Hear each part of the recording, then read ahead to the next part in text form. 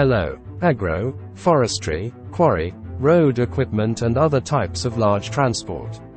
As well as their repair and maintenance. All this you will see on my channel. Subscribe and be the first to know.